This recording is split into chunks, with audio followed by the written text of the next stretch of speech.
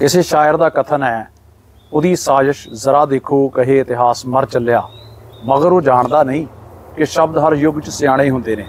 ਸ਼ਬਦ ਗੁਰੂ ਦੇ ਨਾਲ ਜੁੜੇ ਪੰਜਾਬੀਆਂ ਨੂੰ, ਸਿੱਖਾਂ ਨੂੰ, ਦੇਸ਼ ਵਿਦੇਸ਼ ਦੇ ਵਿੱਚ ਬਹੁਤ ਸੰਘਰਸ਼ ਦੇ ਵਿੱਚੋਂ ਗੁਜ਼ਰਨਾ ਪਿਆ।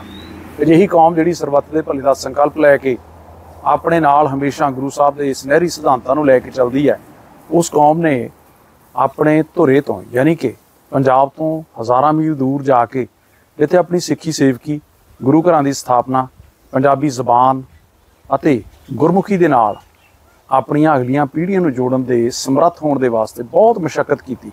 ਉਸ ਮਸ਼ੱਕਤ ਦੇ ਸਿੱਟੇ ਵਜੋਂ ਅੱਜ ਅਸੀਂ ਫਿਜੀ ਟਾਪੂ ਦੇ ਇੱਕ ਬਹੁਤ ਸ਼ਾਨਦਾਰ ਨਗਰ ਤਾਂਗੀ ਤਾਂਗੀ ਗੁਰੂ ਘਰ ਦੇ ਵਿਹੜੇ ਦੇ ਵਿੱਚ ਬੈਠੇ ਹਾਂ ਤੇ ਸਾਡੇ ਨਾਲ ਇੱਕ ਅਜਿਹੀ ਸ਼ਖਸੀਅਤ ਜਿਹੜੇ ਕਿ ਇੱਥੇ ਹੀ ਪ੍ਰਵਾਨ ਚੜੇ ਅੱਜ ਹਾਜ਼ਰ ਨੇ। ਸਿੰਘ ਸਾਹਿਬ, ਵਾਹਿਗੁਰੂ ਜੀ ਕਾ ਖਾਲਸਾ ਵਾਹਿਗੁਰੂ ਜੀ ਕੀ ਫਤਿਹ। ਵਾਹਿਗੁਰੂ ਜੀ ਕਾ ਖਾਲਸਾ ਵਾਹਿਗੁਰੂ ਜੀ ਕੀ ਫਤਿਹ। ਸਿੰਘ ਸਾਹਿਬ ਅਰਦਾਸ ਦੇ ਨਾ ਆਖਰੀ ਹਿੱਸੇ ਦੇ ਵਿੱਚ ਇੱਕ ਗੱਲ ਆਉਂਦੀ ਆ ਵੀ ਸਹੀ ਪਿਆਰੇ ਮੇਲ ਜਿਨ੍ਹਾਂ ਮਿਲਿਆ ਤੇਰਾ ਨਾਮ ਚੇਤਾਵੇ ਸੋ ਤੁਹਾਨੂੰ ਮਿਲ ਕੇ ਵਾਕਿਆ ਨਾਮ ਚੇਤਾ ਆ ਗਿਆ। ਪਹਿਲਾਂ ਤਾਂ ਤੁਸੀਂ ਵਧਾਈ ਦੇ ਹੱਕਦਾਰ ਹੋ। ਆਪਣੇ ਦੇਸ਼ ਤੋਂ ਆਪਣੀ ਉਹ ਭੂਮੀ ਤੋਂ ਜਿੱਥੋਂ ਸਾਡੇ ਵਡੇਰਿਆਂ ਦੇ ਜਨਮ ਹੁੰਦੇ ਸੀ। ਔਰ ਗੁਰੂ ਸਾਹਿਬ ਦੀਆਂ ਪੈੜਾਂ ਪਈਆਂ ਉਸ ਧਰਤੀ ਤੋਂ ਇੰਨੀ ਦੂਰ ਆ ਕੇ ਵੀ ਸਿਧਾਂਤਾਂ ਨਾਲ ਜੁੜੇ ਰਹਿਣ ਦੇ ਲਈ ਤੁਹਾਨੂੰ ਮੁਬਾਰਕ। ਆਪ ਜੀ ਦਾ ਬਹੁਤ ਬਹੁਤ ਧੰਨਵਾਦ। ਨਮਾਣੇ ਜੈ ਸਿੱਖ ਨੂੰ, ਤੁਸੀਂ ਆਪ ਜੀ ਇੰਨੀ ਦੂਰੋਂ ਤੁਰ ਕੇ ਆਏ ਹਾਂ। ਮੈਂ ਆਪ ਜੀ ਦਾ ਬਹੁਤ ਬਹੁਤ ਧੰਨਵਾਦ ਕਰ ਰਿਹਾ ਕਿ ਜਿਹੜਾ ਤੁਸੀਂ ਮੈਨੂੰ ਨਮਾਣੇ ਜੈ ਸੇਵਾਦਾਰ ਨੂੰ ਚੁਣਿਆ, ਇਸ ਕਾਬਲ ਸਮਝਿਆ, ਆਪ ਜੀ ਦਾ ਤੁਹਾਡੀ ਪੂਰੀ ਟੀਮ ਦਾ ਬਹੁਤ ਬਹੁਤ ਧੰਨਵਾਦ। ਮਿਹਰਬਾਨੀ। ਹਰਜੋਤ ਸਿੰਘ ਹੁਣੀ ਕੈਮਰੇ ਦੇ ਪਿੱਛੇ ਲਗਾਤਾਰ ਆਪਣਾ ਸਾਥ ਦੇ ਰਹੇ ਨੇ। ਸਾਡੇ ਫਿਜੀ ਦੇ ਇਸ ਟ੍ਰਿਪ ਦੇ ਵਿੱਚ ਜਿਹੜੀ ਅਗਲੀ ਗੱਲਬਾਤ ਹੈ ਫਗਵਾੜੇ ਦੇ ਲਾਗੇ ਪਿੰਡ ਮੰਡਾਲੀ, ਬੜਾ ਪੁਰਾਣਾ ਪਿੰਡ ਹੈ, ਵੱਡਾ ਪਿੰਡ ਹੈ। ਵੱਖ-ਵੱਖ ਕਾਰਨਾਂ ਕਰਕੇ ਲੋਕ ਉਸ ਨੂੰ ਜਾਣਦੇ ਨੇ। ਲੇਕਿਨ ਅੱਜ ਅਸੀਂ ਇੱਕ ਬੜੇ ਖੂਬਸੂਰਤ ਕਾਰਨ ਕਰਕੇ ਉਸ ਪਿੰਡ ਦੇ ਧੁਰੇ ਨਾਲ ਜੁੜੇ ਸਿੰਘ ਸਾਹਿਬ ਦੇ ਨਾਲ ਗੱਲਾਂ ਬਾਤਾਂ ਕਰਾਂਗੇ। ਸਰਦਾਰ ਅਮਨਜੋਤ ਸਿੰਘ ਜੀ, ਜਿੱਥੇ ਚਰਚਾ ਚੱਲਦੀ ਹੈ ਤੁਹਾਡੇ ਪਰਿਵਾਰ ਦੀ, ਇਸ ਮੁਲਕ ਦੇ ਵਿੱਚ, ਇਸ ਟਾਪੂ ਦੇ ਵਿੱਚ, ਤੁਹਾਡੇ ਪੁਰਖਿਆਂ ਦੇ ਵਿੱਚੋਂ, ਤੁਹਾਡੇ ਵਡੇਰਿਆਂ ਦੇ ਵਿੱਚੋਂ ਕਦੋਂ ਉਹਨਾਂ ਦਾ ਆਉਣਾ ਹੋਇਆ, ਆ ਕੇ ਕਿਹੜੇ ਕੰਮਕਾਰ ਕੀਤੇ, ਕਿਹੜੇ ਇਲਾਕੇ ਦੇ ਵਿੱਚ ਉਹਨਾਂ ਨੇ ਰੰਗ ਭਾਗ ਲਾਏ?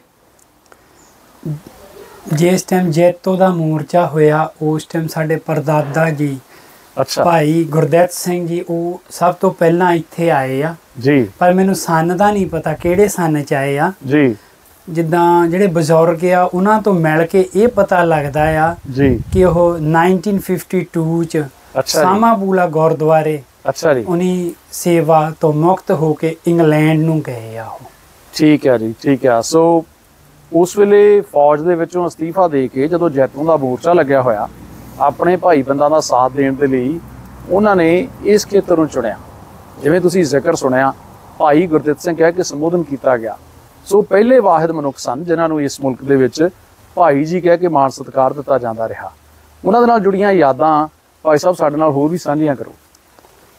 ਜਿੰਨਾ ਫਿਰ ਉਹ ਜਦ ਪਹਿਲਾਂ ਉਹ ਆਏ ਆ ਫਿਰ ਉਹਨੇ ਮੇਰੇ ਬਾਬਾ ਸਰਦਾਰਾ ਸਰਦਾਰ ਸਰਦਾਰਾ ਸਿੰਘ ਦੇ ਨਾਂ ਤੇ ਜਾਣਿਆ ਜਾਂਦਾ ਸੀ। ਉਹਨਾਂ ਨੂੰ ਸੱਦਿਆ। ਤਾਂ ਫਿਰ ਉਸ ਤੋਂ ਬਾਅਦ ਸਾਡੀ ਬੀਬੀ ਜੀ ਆਈ ਬੀਬੀ। ਬਖਸ਼ੀਸ਼ ਕੌਰ ਆਈ ਆ। ਫਿਰ ਉਹਨੇ ਇੱਥੇ ਆਪਣੇ ਖੇਤੀਬਾੜੀ ਸ਼ੁਰੂ ਕੀਤੀ। ਗੰਨੇ ਦੀ। ਗੰਨੇ ਦੀ ਖੇਤੀਬਾੜੀ ਟਾਂਗੀ ਟਾਂਗੀ ਜਿੱਥੇ ਅਸੀਂ ਬੈਠੇ ਆ ਇਹ ਤੋਂ ਕਿੰਨੀ ਕੁ ਦੂਰ? ਬਸ ਥੋੜਾ ਜਿਹਾ ਹੀ ਦੂਰ ਆ। ਬਸ ਆ ਕਮਾਦ ਦਾ ਖੇਤ ਤੋਂ ਪਰਲੇ ਪਾਸੇ ਸਾਡਾ ਕਮਾਦ ਕੱਚਾ ਵਿੱਚ। ਜਾਂਦਾ ਹੈ। ਹਾਂਜੀ। ਕੀ ਬਾਤ ਕੀ ਬਾਤ। ਹੈ ਮੈਨੂੰ ਦੱਸੋ ਵੀ ਉਹ ਜਿਹੜਾ ਦੌਰ ਸੀ ਜਦੋਂ ਤੁਸੀਂ ਆਪਣੇ ਬਜ਼ੁਰਗਾਂ ਦੇ ਨਾਲ ਬਹਿ ਕੇ ਗੱਲ ਕਰਦੇ ਖੁਸ਼ੀਆਂ ਗਮੀਆਂ ਦੇ ਵਿੱਚ ਪਰਿਵਾਰਕ ਇਕੱਠ ਹੁੰਦੇ ਉਸ ਵੇਲੇ ਦੇ ਦੌਰ ਨੂੰ ਤੁਹਾਡੇ ਪਰਿਵਾਰ ਦੇ ਵਡੇਰੇ ਕਿਵੇਂ ਯਾਦ ਕਰਦੇ ਜਦ ਮੇਰਾ ਬਾਬਾ ਇਦਾਂ ਦੱਸਦਾ ਹੁੰਦਾ ਸੀ ਗੱਲਾਂ। ਉਸ ਟਾਈਮ ਨਾ ਜਿਹੜੇ ਜਹਾਜੀ ਇਦਾਂ ਕਹਿ ਕੇ ਬੁਲਾਇਆ ਜਾਂਦਾ ਹੁੰਦਾ ਜਿਹੜੇ ਜਹਾਜ਼ 'ਚ ਇਕੱਠੇ ਆਏ ਆ। ਉਹਨੇ ਕਹਿਣਾ ਇਹ ਸਾਡੇ ਜਹਾਜੀ ਆ ਹਾਂ ਜਿਵੇਂ ਗੁਰਭਾਈ ਕਹਿ ਦਿੰਦੇ ਆਪਾਂ ਆਪਣੇ ਹਾਂਜੀ ਸਮਾਜ ਹਾਂ ਉਹਨੇ ਕਹਿਣਾ ਇਹ ਸਾਡੇ ਜਹਾਜੀ ਆ। ਆਹਾ। ਤੇ ਇੱਕ ਹੋਰ ਵੀ ਚੀਜ਼ ਇਹ ਸੀਗੀ ਅੱਛਾ। ਜਿੱਦਾਂ ਮੇਰੇ ਬਾਬੇ ਦੀਆਂ ਇੱਥੇ ਇਕੱਲਾ ਹੀ ਸੀ ਭੈਣ ਭਰਾ ਕੋਈ ਨਹੀਂ ਸੀਗਾ। ਆਹਾ। ਤਾਂ ਇੱਕ ਉਹਨਾਂ ਦਾ ਕਜ਼ਨ ਸੀਗਾ ਉਹਦਾ ਨਾਮ ਪੂਰਨ ਸਿੰਘ ਸੀਗਾ। ਅੱਛਾ ਉਹਦੇ ਉਹਦੇ ਗਾਹਾਂ ਪੋਤੇ ਆ ਜਿਹੜੇ ਉਹ ਅਮਰੀਕਾ 'ਚ ਆ। ਅੱਛਾ ਜੀ। ਤੇ ਇੱਥੇ ਤਾਂ ਉਹਨਾਂ ਦਾ ਹੁਣ ਕੋਈ ਹੈ ਨਹੀਂ। ਠੀਕ ਹੈ। ਤਾਂ ਇਦਾਂ ਜਿਹੜਾ ਤੁਹਾਡੇ ਪਿੰਡ ਨਾਲ ਰਿਲੇਸ਼ਨਸ਼ਿਪ ਪਿੱਛੋਂ ਜਿਹੜੇ ਸੀਗੇ ਅੱਛਾ ਜੀ। ਉਹਨਾਂ ਨੂੰ ਇੱਥੇ ਨਿਭਾਉਂਦੇ ਹੁੰਦੇ ਸੀਗੇ। ਸਾਡੇ ਹਾਂ। ਗਵਾਂਢੀ ਇੱਕ ਸੀਗਾ ਹੁਣ ਤਾਂ ਸਾਰੇ ਅਮਰੀਕਾ ਚਲਾ ਗਏ ਉਹਦੇ ਜਿਹੜੀ ਭਾਈਚਾਰਕ ਸਾਂਝ ਆ ਉਹ ਬੜੀ ਪੀਢੀ ਸੀ ਸੋਸ਼ਲ ਟਾਈਜ਼ ਵੈਰੀ ਹਾਂਜੀ। ਸਟਰੋਂਗ ਤਾਂ ਉਹ ਇੱਥੇ ਰੋਡ ਦੇ ਦੂਜੇ ਪਾਸੇ ਉਹਨਾਂ ਦਾ ਖੇਤ ਸੀਗਾ ਭਾਈ ਪੱਗਵਟ ਭਰਾ ਬਣੇ ਉਹ ਸੀਗੇ। ਹਾਂ। ਮੇਰੇ ਬਾਬੇ ਨੇ ਅੱਛਾ ਜੀ। ਆਪਣੇ ਦੋ ਬੜੇ ਭਰਾਵਾਂ ਨੂੰ ਛੱਡ ਕੇ ਹਾਂ। ਮੇਰੀ ਭੂਆ ਦਾ ਵਿਆਹ ਜਦ ਇੰਡੀਆ ਹੋਇਆ ਨਾ ਅੱਛਾ ਜੀ। ਉਹਦੀ ਮਿਲਣੀ ਕਰਾਈ ਤਾਈ ਦੀ ਜਗ੍ਹਾ। ਹੂੰ ਪਿਆਰ ਸਤਿਕਾਰ ਦੀ। ਕਹਾਣੀ ਆ ਫਿਰ ਜਦ ਉਹਦੇ ਨਿਆਣਿਆਂ ਦੇ ਵਿਆਹ ਹੋਏ ਚਾਚੇ ਦੀ ਜਗ੍ਹਾ ਮੇਰੇ ਬਾਬੇ ਨੇ ਉਹਨਾਂ ਨਾਲ ਮਿਲਣੀ ਹੁੰਦੀ ਸੀ ਉਹਦੇ ਜਿੰਨੇ ਨਿਆਣਿਆਂ ਦੇ ਵਿਆਹ ਹੋਏ। ਜਿੱਦਾਂ। ਅੱਜ ਵੀ ਉਹਨਾਂ ਦਾ ਇਸੇ ਤਰ੍ਹਾਂ ਮੇਲ ਸਤਕਾਰ ਪ੍ਰੇਮ ਪਿਆਰ ਇਸੇ ਤਰ੍ਹਾਂ ਬਰਕਰਾਰ ਆ ਜਿਹੜਾ ਇਸ ਖੇਤਰ ਦੇ ਵਿੱਚ ਤੁਹਾਡੇ ਬਜ਼ੁਰਗਾਂ ਦਾ ਖੂਨ ਪਸੀਨਾ ਇੱਥੋਂ ਦੀ ਮਿੱਟੀ 'ਚ ਰਲ ਗਿਆ ਉਹਨਾਂ ਮਿਹਨਤ ਦੇ ਦਿਨਾਂ ਦੀ ਦਾਸਤਾਨ ਵੀ ਸੁਣਾਓ ਮੇਰਾ ਬਾਬਾ ਇਹ ਗੱਲ ਦੱਸਦਾ ਹੁੰਦਾ ਸੀਗਾ। ਇੱਥੋਂ ਥੋੜਾ ਦੂਰ ਇੱਕ ਨਦੀ ਜਾਂਦੀ ਆ ਛੋਟੀ ਜੀ ਗਲੀਲਾ ਆ ਅੱਛਾ ਹੋਊਗਾ ਅੱਧਾ ਕੁ ਮੀਲ ਹੋਊਗਾ ਉੱਥੇ ਪਸ਼ੂਆਂ ਨੂੰ ਜਦ ਔੜ ਲੱਗ ਜਾਣੀ ਨਾ ਖੂਹਾਂ 'ਚ। ਪਾਣੀ ਸੁੱਕ ਜਾਣਾ। ਔਰ ਉਹਟਾ ਸਪਲਾਈ ਨਹੀਂ ਸੀ ਹੁੰਦੀ ਅੱਛਾ ਤੇ ਆਪਣੀਆਂ ਮਤਾਵਾਂ ਉੱਥੇ ਕੱਪੜੇ ਧੋਣ ਹੱਥੀਂ ਜਾਂਦੀਆਂ ਹੁੰਦੀਆਂ ਸੀ ਉੱਥੇ ਕੱਪੜੇ ਧੋ। ਕੇ ਹਾਂ। ਤੇ ਪਸ਼ੂਆਂ ਨੂੰ ਵੀ ਪਾਣੀ ਉੱਥੇ ਪਿਲਾਉਣਾ ਅੱਛਾ ਜੀ ਜਿਹੜਾ ਪੀਣ ਲਈ ਪਾਣੀ ਉਹ ਆ ਗੁਰੂ ਘਰ ਦਾ ਜਿਹੜਾ ਆਪਾਂ ਇੱਥੇ ਬੈਠੇ ਆ ਨਾ। ਇਸ ਗੁਰੂ ਘਰ 'ਚ ਇੱਕ ਖੂਹ ਹੁੰਦਾ ਸੀਗਾ ਉਹ ਹੁਣ ਵੀ ਨਿਸ਼ਾਨੀ ਹੈਗੀ ਜੀ। ਹੈਗੀ ਆ ਨਿਸ਼ਾਨੀ ਉੱਥੋਂ ਪੀਣ ਲਈ ਪਾਣੀ ਲੈ ਕੇ ਜਾਣਾ। ਅੱਛਾ। ਹਾਂ। ਸੋ ਇਹ ਗੁਰੂ ਘਰ ਦੀ ਜੋ ਸਥਾਪਨਾ ਹੁੰਦੀ ਆ ਤੁਹਾਡੇ ਬਚਪਨ ਦੇ ਦਿਨਾਂ 'ਚ ਤੁਹਾਨੂੰ ਯਾਦ ਆ ਇੱਥੋਂ ਦੀ ਬਿਲਡਿੰਗ ਇੱਥੋਂ ਦੇ ਧਾਰਮਿਕ ਇਕੱਠ ਇੱਥੇ ਕਿਹੜੇ ਕਿਹੜੇ ਲੋਕ ਕੀਰਤਨ ਦੀ ਸੇਵਾ ਨਿਭਾਉਂਦੇ ਸਨ? ਤੁਹਾਡੇ ਆਪਣੇ ਪਰਿਵਾਰ ਦੇ ਵਿੱਚੋਂ ਗ੍ਰੰਥੀ ਸਿੰਘ ਦੀ ਭੂਮਿਕਾ ਜਿਹੜੇ ਨੇ ਵਲੰਟੀਅਰਲੀ ਤੁਹਾਡੇ ਪਰਿਵਾਰਕ ਮੈਂਬਰ ਨਿਭਾਉਂਦੇ ਰਹੇ ਉਦੋਂ ਦੀਆਂ ਯਾਦਾਂ ਵੀ ਸਾਂਝੀਆਂ ਕਰੋ ਸਾਡੇ ਨਾਲ। ਜਦ ਮੈਂ ਜਿੱਦਾਂ ਛੋਟਾ ਜਿਹਾ ਹੁੰਦਾ ਸੀਗਾ ਹੁਣ ਤਾਂ ਚਲੋ ਬਹੁਤ ਸੰਗਤ ਬਾਹਰ ਨਿਕਲ ਗਈ। ਜੀ। 20 25 ਘਰ ਖੁਦ ਮੈਂ ਆਪਣੀ ਸੁਰਤ 'ਚ ਦੇਖਿਆ ਟਾਂਗੀ ਟਾਂਗੀ 'ਚ ਆਪਣੇ ਗੁਰਸਿੱਖ ਭਾਈਆਂ ਦੇ। ਅੱਛਾ। ਹਾਂਜੀ। ਤੇ ਦੂਜੀ ਚੀਜ਼ ਇਹ ਸੀਗੀ ਇਸ ਗੁਰਦੁਆਰੇ ਨੂੰ ਕੋਈ ਸਾਈਡ ਇਨਕਮ ਨਹੀਂ ਹੈ। ਸਿਰਫ ਚੜਾਵੇ ਨਾਲ ਟੰਗ ਟੰਗੀ ਗੁਰਦੁਆਰਾ ਚੱਲਦਾ ਆ। ਹੋਰ ਬਾਕੀ ਗੁਰਦੁਆਰਿਆਂ ਕੋਲ ਸਕੂਲ ਆ ਫਲੈਟ ਹੈਗੇ ਆ। ਪਰ ਇਹ ਸਿਰਫ ਸੰਗਤ ਦੇ ਚੜਾਵੇ ਨਾਲ ਚੱਲਦਾ। ਤਾਂ ਮੇਰਾ ਬਾਬਾ ਇੱਕ ਗੱਲ ਦੱਸਦਾ ਹੁੰਦਾ ਸੀਗਾ ਕਿ ਕਈ ਟਾਈਮ ਇਦਾਂ ਦਾ ਵੀ ਆਇਆ ਪਹਿਲੇ ਸਮਿਆਂ 'ਚ। ਲੋਕਾਂ ਨੇ ਗ੍ਰਾਹੀ ਕਰਕੇ ਇਹਦੇ ਬਿੱਲ ਤਾਰਨੇ ਤੇ। ਗ੍ਰਾਂਥੀ ਦੀ ਤਨਖਾਹ ਦੇਣੀ।